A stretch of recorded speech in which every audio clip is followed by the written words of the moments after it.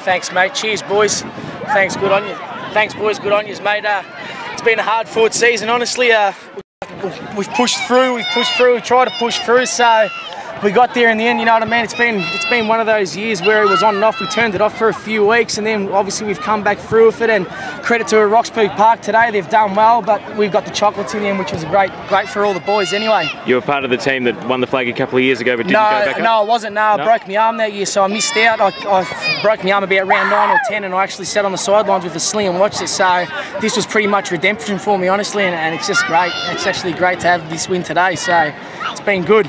Go up on the stage, Dave said that uh, they've righted the wrong of getting relegated a couple of years ago. So, uh, how important is it that uh, you guys made amends for that? Oh, you know, well, Batsy and all the coaching staff, they've uh, they've tried really hard over the last, obviously, two years since they've been here, and uh, more credit to them because if it wasn't with them, we wouldn't we wouldn't be here today. You know what I mean? So, all the best to Batsy and all that because, mate, if it wasn't for them, as I said, we wouldn't be here. So. It was a credit to them and a credit to obviously all the boys, all through the lines, forwards, midfield, defence. We just stuck stuck thick and it obviously worked our way. So And challenged today, but uh, able to kick away in the last quarter. What do you put it down to? Oh, I, I think it was just more our fitness. We've we've strived on it through the whole year about fitness and all that, and um, you know, Batsy's been punished us at, at training and all that, talent. us we've got to keep pushing through, keep pushing through, and it obviously showed today that we actually got the job done because they ran out of legs and we just kept on going. So Well- it was good. Dean Roberts is with us. Dean, congratulations on such a terrific victory this afternoon.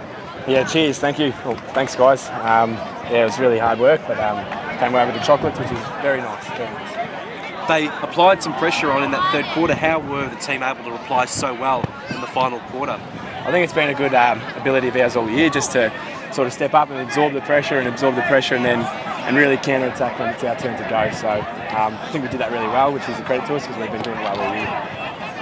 And uh, as far as redemption, Dave mentioned it up on stage for relegation a couple of years ago. How, how's the journey through Division Two affected you? Uh, well, coming from playing uh, playing here since I was eight years old, I saw the, the good times in A grade, and um, as far as I'm concer- concerned, and a lot of the boys, we're, we're an A grade club, and we're working hard to get back there. So it's the first step, and um, hopefully within you know the next couple of years, we're back up where we belong. After Hillside blew the league away last season, um, how important was it that once it was clear that you know it was a, more even comp this year that you guys actually went on with the job?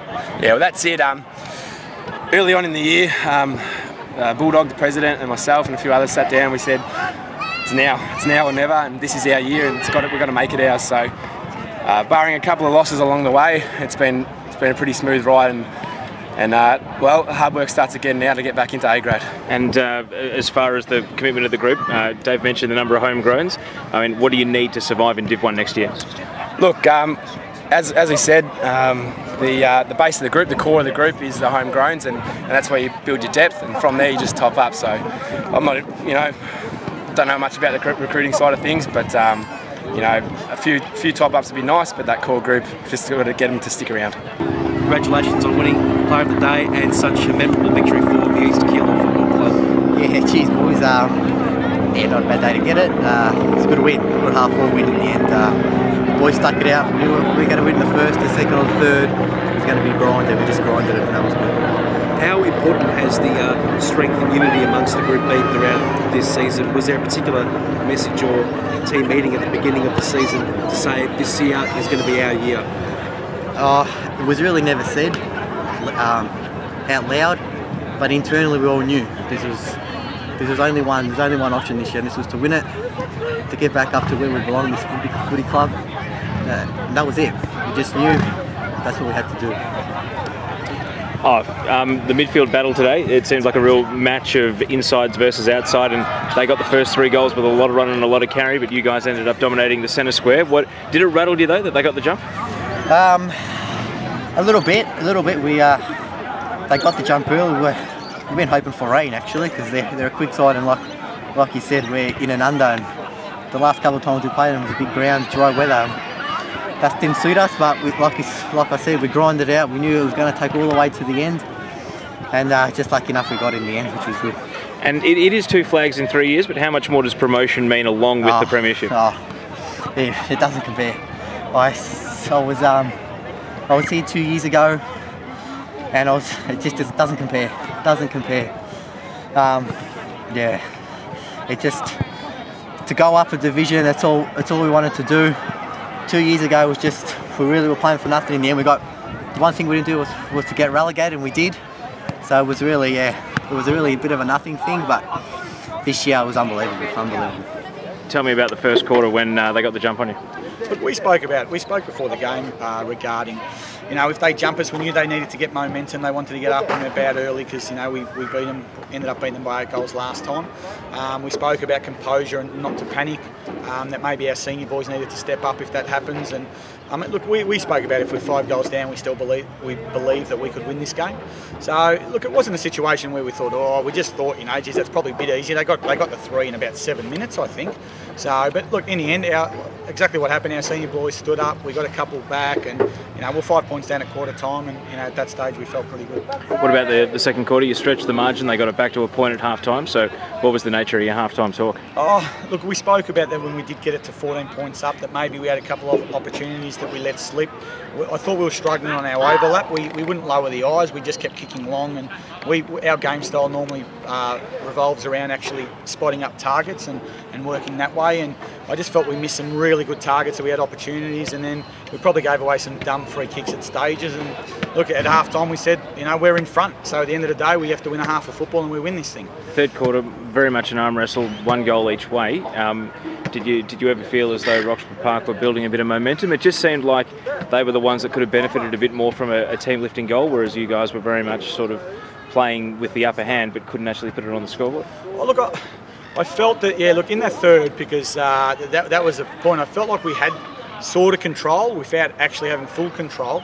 And there was no doubt that you had this belief if they got another couple, then they're young players, and we know when they played us at their ground that they just start running and they're hard to stop. So, look, credit to our blokes, we were very professional the way we went about it. And I, I think there they had an inner belief that if we could just grind away long enough, then hopefully we'll eventually break them. And you know, and it, it took a long time, but yeah, last quarter finally. And, and, it was centre square control. It was your rucks and your inside guys that, that did it. And you know, and your second rucks won the, the best of field. And, and you suggested yourself that Mondio was probably the medalist. I mean, what does that say about the way you've set up the team to basically play finals footy and, and be ready for pressure situations? Well, Robbie's actually our number one. He's, your, yeah, he's, he's number, the one. number one. He's uh, Mondi. Mondi plays, he can play ruck and he can go forward. Whereas Robbie, if he goes forward, he'll only sit in the square. So we're always probably in the ruck contest themselves. Mondi moves around the ground better, but for complete tap, yeah, Robbie, I reckon second to no one probably. And look, in that last quarter, he rucked for 25 minutes in the last quarter just because he started dominating. And I felt every time he was in the ruck, we had good control.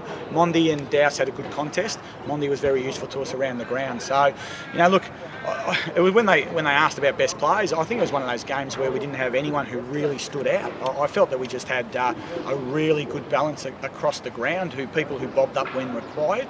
And then in the last quarter, yeah, they all, all had a say. And you said on the stage that uh, you've righted the wrong. I guess uh, relegation uh, happened for seven teams at once.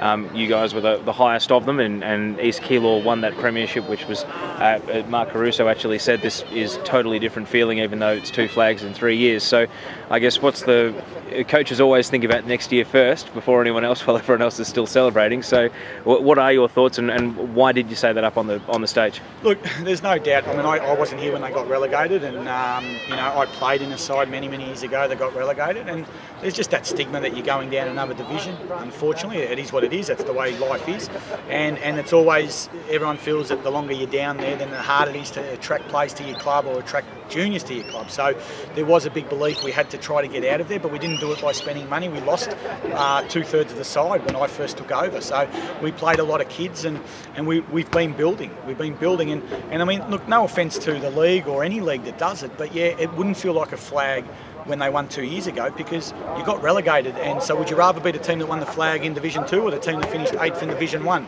Everyone would say we'd rather be that team that finished eighth because we survived. That's why it doesn't feel that way. On the day, it probably was special, but outside of that, they sit, sit back down and they say we came ninth. This one's meaningful because we got promoted. So, and, and again, that's no disrespect to any league because of what needs to happen to make, when you do the relegation, to make it actually useful, to make it have some purpose. And I understand that totally.